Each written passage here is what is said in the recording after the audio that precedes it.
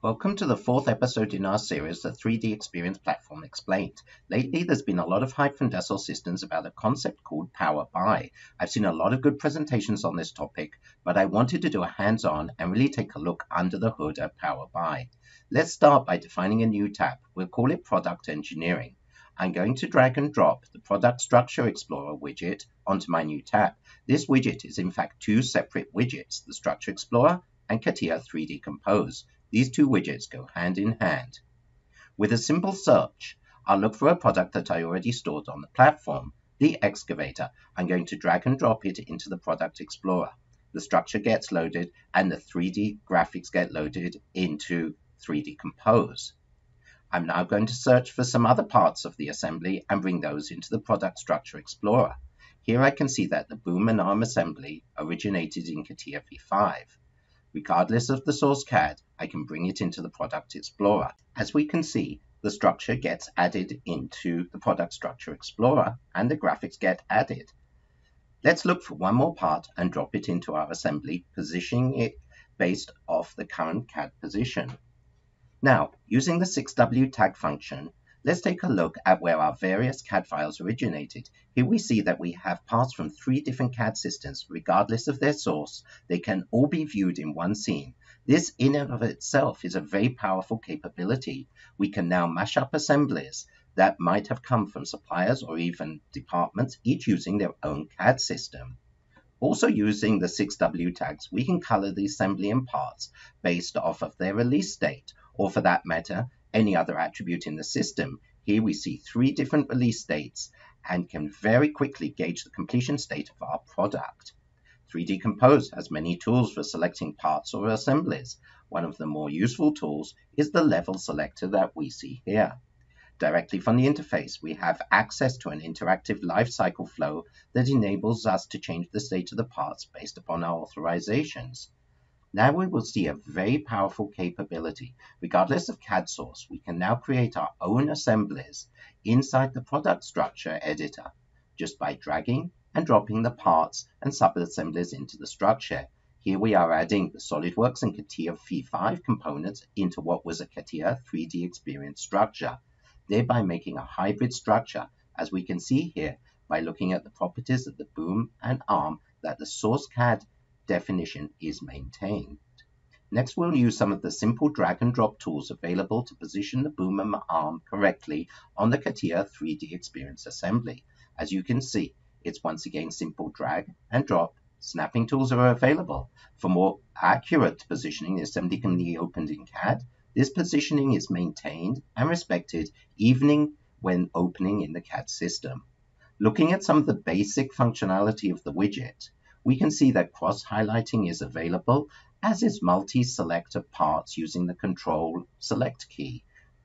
Cross-highlighting works from both directions. There are numerous tools available for focusing on a specific part, either in the 3D graphic or in the tree. Now we will take a look at what happens when we open our new hybrid assembly in CATIA 3D Experience.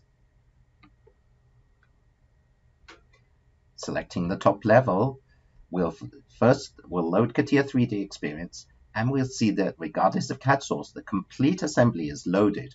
Also, we see that the positioning changes made have been respected. If we look at the feature tree, we see that parts that were designed in CATIA V5 cannot be edited here. However, parts that were designed in this CAD system have their full features defined and can be edited. This enables us to design in context regardless of the source CAD. Back on the platform, another very nice functionality of the Product Structure Explorer is the search capability. Here we can see that all instances of our search term are highlighted and can be stepped through. Next, we're going to look at a change scenario enabled through Power By. We're going to select the boom and the arm, which are currently released, and create a new revision of the assembly. As we can see here, the new revision is automatically added to the Product Structure Explorer. It has the B.1 designation and is placed in the work state we have the ability to update some of the attributes we can see here, adding in a description or changing the name.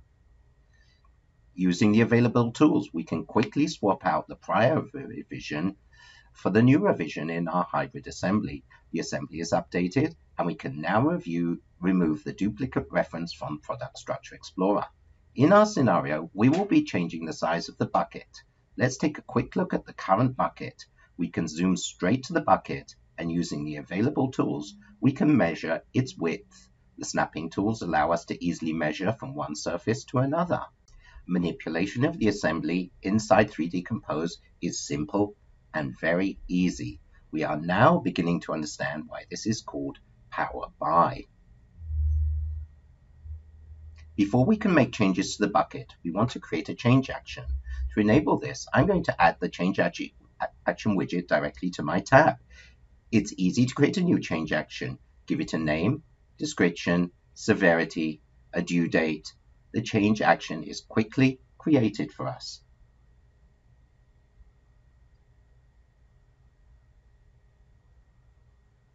Now that we have a new change action, let's add a team of people to work on it. There are four roles available, owner, assignees, reviewers, and followers. Before the change action can be completed and the parts released, the reviewers must sign off on the changes.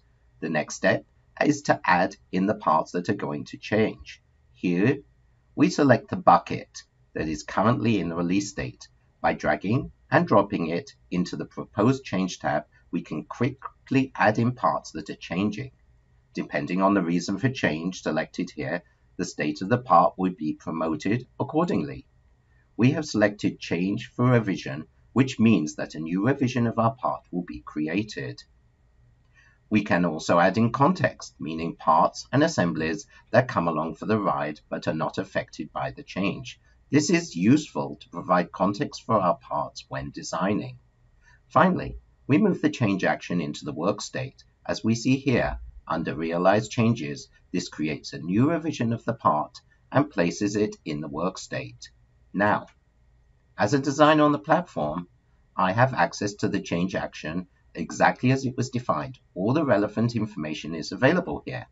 I'm going to search for the bucket and find the latest revision of the bucket, as we see here in the properties.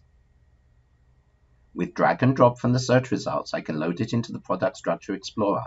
I'll now update the system to define that all changes to this part are being governed by a change action. This will also prevent anyone else from making modifications to the bucket outside of the change action. Next, we'll edit the bucket by opening it in the CAD package it was created in, in this case CATIA V5. This we can do directly from the platform. As we can see here, I have full editing capability. Even inside CATIA, I can see that I'm currently working under a change action. In this case, I'm going to make a quick edit to a parameter and change the width of the bucket. We refresh the graphics and can now save our changes directly to the platform through the integration. As we see here, the bucket has changed and will be saved to the platform. Back on the platform, we've refreshed the view in 3D Compose and can now verify the change by measuring the width again. As we see here, the bucket has been successfully updated. I can now move the bucket to the frozen state to prevent any more changes to it. Its promotion to the release state will be governed by the completion of the change action.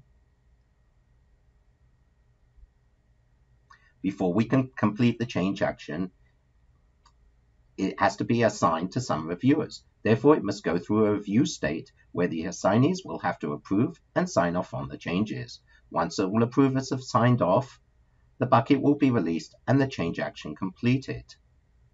The last action required to, is to update the assembly with the latest revision of the bucket. As we saw before, this is an easy task of swapping the current revision with the latest. Our assembly now has the modified bigger bucket. Since we have several versions of the bucket, we may want to review the differences. For that, we have the compare widget that we see here. I can drag and drop the boom and arm assembly into the compare widget. It instantly shows me all available revisions of the assembly.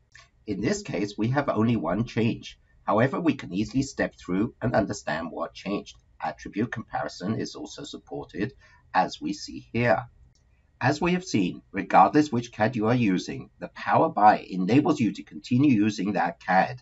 No more CAD translations are required in order to build an assembly from multiple sources. The product engineer can work in one place validating designs and building a product visually.